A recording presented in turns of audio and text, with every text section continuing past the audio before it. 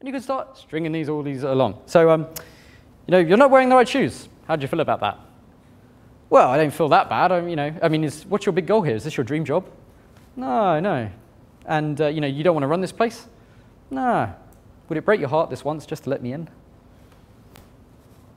How do you feel about that? It's a great little hack to throw back at any, um, any uh, put down that's thrown your way. Another really good one is if anyone's causing a scene, what are you trying to achieve here?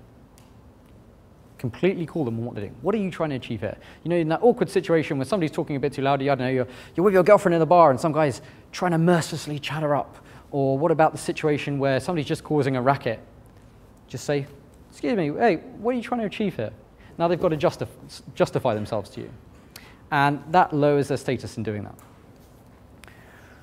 So, of course, maybe you want to put people down. Maybe you're a bad person. Well, here's a line for you.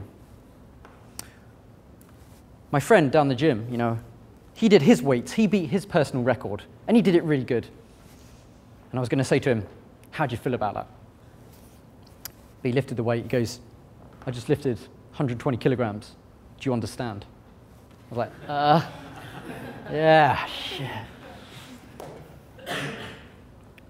You see, every hack has an equal and opposite hack. Any question, if you ever asked a question you don't want to answer, or you find trouble finding the answer, there's a lot of variables involved. You can pretty much answer any question with that hack. There's a lot of variables involved. But as I said, every hack has an equal and opposite hack. So equal hacks to that are, there's a lot of ingredients in the mix. There's a lot of factors at play. There's a lot of forces at work. They're all the same way of describing the same thing. Because language is pretty similar wherever you go, just the style is different. Now, you might have a clever lecturer, you might have a clever boss who says, wait a minute, he's just hacked me. Well, you might not say that, but if he does, and you can counter, he, he, he may counter, he say, what do you mean there's a lot of variables involved? Get specific. Now he's turned the tables on you. So you have to hack him back. So this is what happens to me. Something like that happens. I go, oh, God, what could I have said? The learning we all get in life doesn't happen before we do it, uh, do the event. It happens after we take action. It happens after we walk home with our tail between our legs, we sit at our desk and think, oh, what was the perfect thing to say? I urge you to meditate on that, to think about that until you come up with that great answer. Because this is the answer I came back with. Get specific. What answer would satisfy you? In other words, answer my own question for me. He said, Don't play games with me. So I said, thinking, hack, hack, hack. You know what? Any answer I give you, I can tell, is just going to add to more confusion.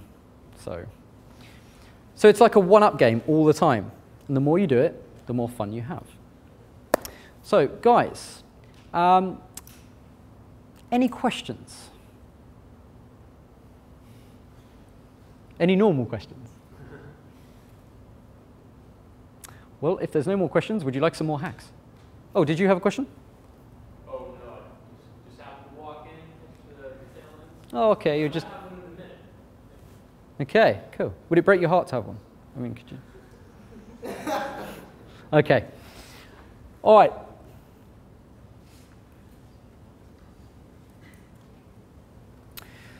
So, this is the world I'm living in right now.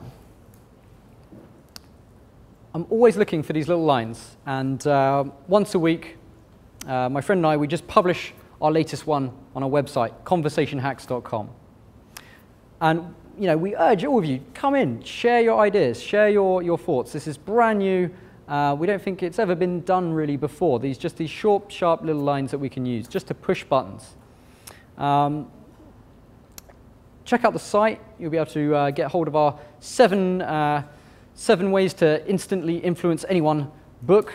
And um, you've been an amazing audience. Thank you so much.